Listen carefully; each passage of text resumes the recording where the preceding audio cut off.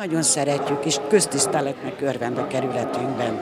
Bármennyire is egyesek úgy ítélik meg, hogy mégsem. Pár hete hatalmasat robbant az a hír, hogy a 16. kerületi Fideszes vezetési önkormányzat leszavazta azt, hogy Bálint gazda a kerület díszpolgára lehessen.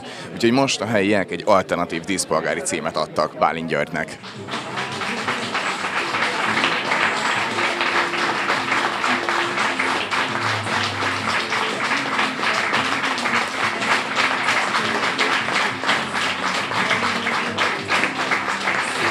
Aztán később kiderült, hogy ez a díszpolgári nem megszavazás kicsit bonyolultabb volt, mert hogy a fideszesek nem arra szavaztak, hogy ne Bálint gazda legyen, hanem tíz jelölt közül nem épp rászavaztak. De ez már mindegy volt, mert Bálint gazda végül is nem kapta meg a kerületi díszpolgári díjat, úgyhogy most vasárnap helyi civilek és helyi baloldali politikusok közösen egy ünnepséget tartottak a tiszteletére. Felhívott valaki telefonon, nem tudom, hogy ki volt az a hölgy, és kérdezte, hogy mit szól ahhoz, hogy a a képviselőtestületben a, a Fidesz frakció egyértelműen leszavazta.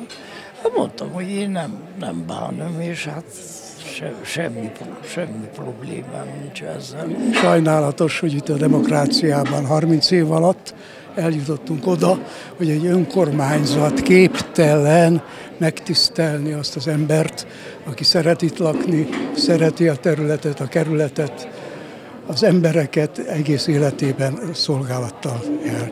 És nem voltak képesek diszpolgárna megválasztani. Azt tudom, hogy egy hölgy volt, aki eh, olyan csasiságokat mondott, hogy ha tőlem legyen 110 éves is az a jelölt, akkor se szavazok rá, meg hogy soha egy olyan baloldali jelöltre nem fog életében soha se szavazni.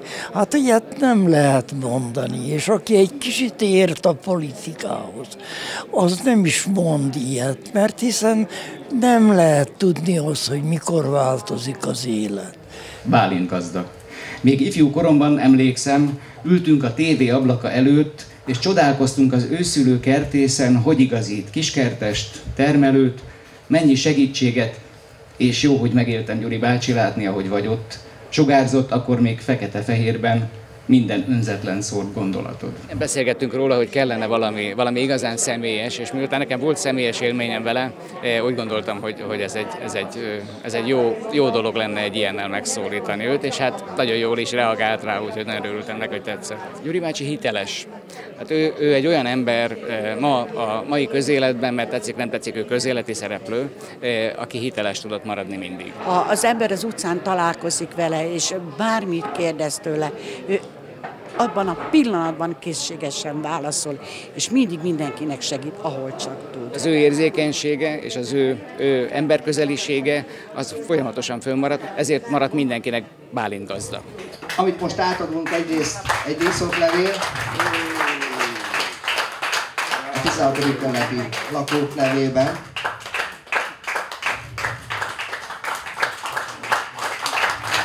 Apámtól tanultam meg a humanizmust, a demokráciát tisztelni, és ezt tettem egész életemben. Úgyhogy szeretném úgy befejezni az életemet, hogy, hogy ne csalódjanak ebben azok, akik, akik ezt figyelik.